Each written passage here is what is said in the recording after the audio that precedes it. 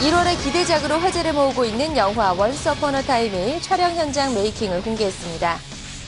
영화 Once Upon a Time은 1940년대 일제 강점기를 배경으로 신라 천년의 상징이라 불리던 전설의 3,000캐럿 다이아몬드 동방의 빛을 찾기 위해 벌이는 작전을 코믹하게 담은 영화인데요. 박용우는 이 영화를 통해 경성 최고의 사기꾼으로 연기 변신을 시도하고 강도 높은 액션씬을 직접 소화해 화제를 모았습니다. 여주인공 이보영 또한 기존의 청순한 이미지를 벗고 섹시한 도둑으로 연기 변신을 시도했는데요.